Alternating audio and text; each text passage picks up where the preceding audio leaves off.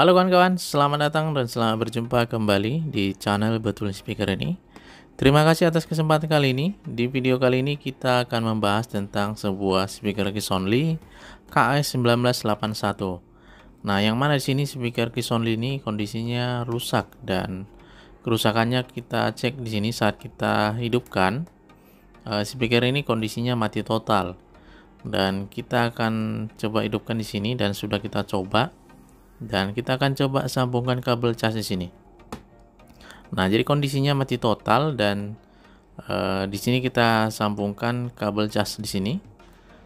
Nah, saat kita sudah sambungkan di sini, konektor cas ini di sini sudah longgar sekali kan kawan. Dan saat kita sedang cas di sini, uh, untuk lampu indikatornya juga di sini tidak ada menyala saat kita cas.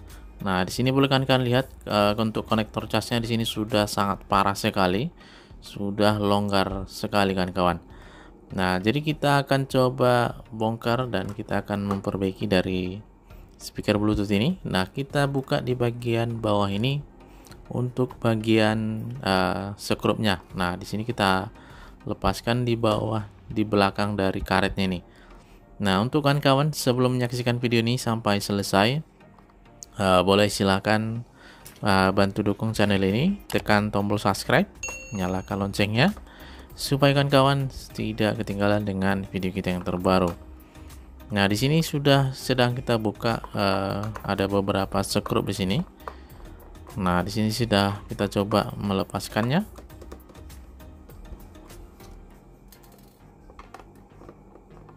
Nah, kita sudah hampir selesai. Kita copot uh, kita lepaskan di sini skrupnya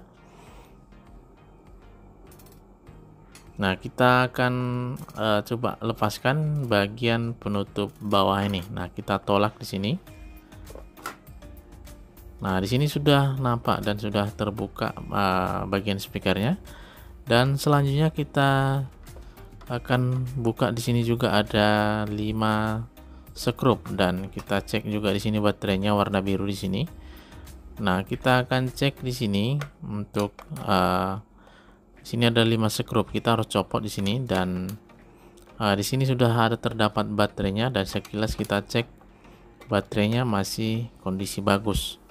Dan untuk jenis baterainya uh, baterai lithium 18650. Nah, kita sudah buka di sini ada 5 skrup Nah, di sini sudah kita buka dan kita akan buka angkat dan penutupnya nih. Nah, di sini ada penutup bagian uh, papan PCB-nya. Nah, kita angkat di sini kawan-kawan, kita tarik ke atas sampai lepas di sini. Nah, di sini sudah lepas uh, bagian penutupnya dan soketnya di sini lengket dengan uh, bagian penutup ini. Nah, di sini sudah nampak uh, rangkaian papan PCB-nya. Nah, di rangkaian papan PCB ini masih ada dua skrup dan kita copot juga di sini.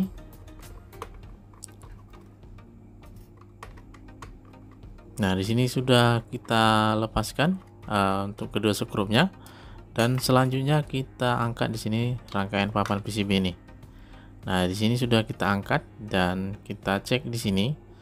Uh, seperti inilah tampilan dari rangkaian papan PCB-nya. Nah, jadi kita akan coba melepaskan konektor casnya ini. Dan sebelumnya kita coba kembali di sini. Nah, di sini kita sambungkan kembali konektor casnya. Nah, saat kita uh, sambungkan di sini, kadang bisa nyala, kadang mati, dan sudah sangat parah longgarnya di sini.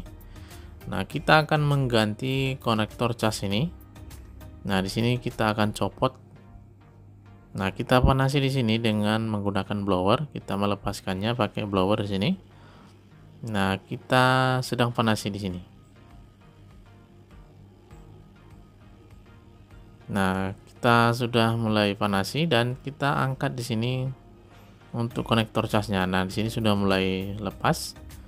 Dan selanjutnya di sini sudah kita sediakan untuk penggantinya dan untuk kawan-kawan yang ingin uh, mencari konektor casnya boleh dicek di uh, link deskripsi kita tampilkan di sini untuk kawan-kawan yang ingin mencari konektor cas uh, speaker Bluetooth seperti ini. Nah, ini modelnya USB cas micro dan kita sudah mulai pasang di sini dan kita panasi dan saat memasang kita pastikan betul-betul uh, tepat dan tidak meleset untuk jalur uh, papan PCB ini.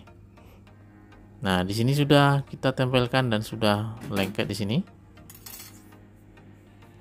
Dan selanjutnya di sini kita tambahkan uh, timah di bagian kakinya nih.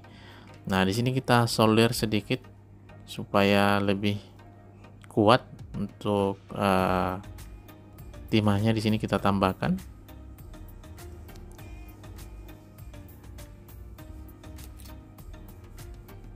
Nah, di sini sudah kita solder ulang dan uh, kita akan pasang uh, rangkaian papan PCB ini. Dan inilah tadi konektor casnya yang sudah kita copot. Nah, di sini kita bandingkan untuk konektor casnya dan sudah uh, kita ganti. Kita selanjutnya kita coba di sini untuk uh, konektor casnya di sini kembali. Nah, saat kita coba di sini dan di sini sudah stabil dan tidak mati hidup mati hidup. Dan kita coba di sini untuk uh, kerapatannya dan di sini sudah agak lebih padat Nah, kita selanjutnya akan pasang rangkaian papan PCB ini. Nah, di sini sudah kita tempelkan papan PCB-nya, kita tinggal sekrup di sini kan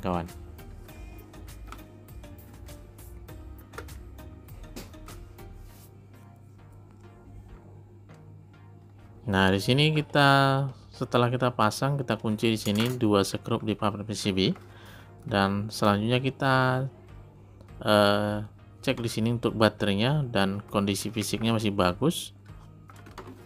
Nah kita tutup di sini.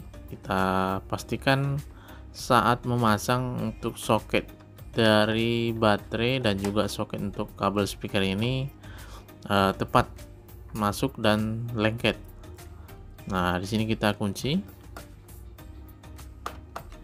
nah di sini kita pasang 5 skrup tadi dan sudah lengket dan terpasang di sini. Kita langsung tutup kembali di sini kan kawan. Nah, di sini sudah kita tutup. Nah, kita uh, akan sambungkan di sini kabel casnya sekaligus Nah, supaya kita sambil cas di sini karena baterainya tadi masih lowbat, Nah, di sini saat kita cas lampu indikator merahnya sudah menyala stabil. Dan kita cek di sini. Nah, jadi kita butuh proses lagi waktu di sini untuk pengecasannya dan kita sambil tutup di sini kan kawan. Nah, di sini sudah kita tutup. Dan selanjutnya kita akan coba speaker ini apakah nanti speaker ini sudah bisa menyala. Nah, di sini kita on kan kawan-kawan dan speakernya di sini uh, saat kita on kan dan uh, sudah bisa menyala. Nah, kita cas di sini dalam beberapa menit dan selanjutnya kita akan tes kembali. Nah, setelah kita cas dalam waktu lebih kurang 15 menit, uh, sudah kita cas dan selanjutnya kita coba tes di sini dan kita lepaskan kabel casnya dan kita on kan di sini speakernya. Bluetooth mode. Nah, di sini speakernya sudah menyala dengan uh, jelas dan suaranya sudah stabil. Nah, di sini sudah terkoneksi Bluetoothnya, sudah kita langsung sambungkan. Kita tes di sini suaranya.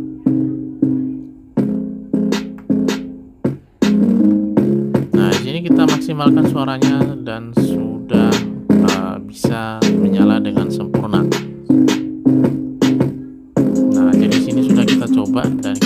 Suara di sini sangat lumayan bagus.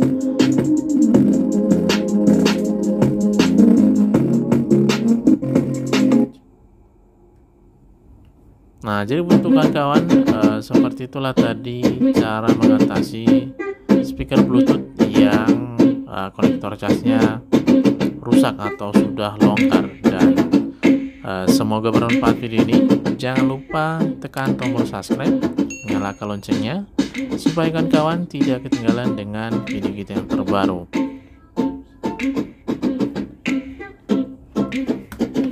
Nah, di sini sudah kita coba dan uh, speakernya sudah mantap.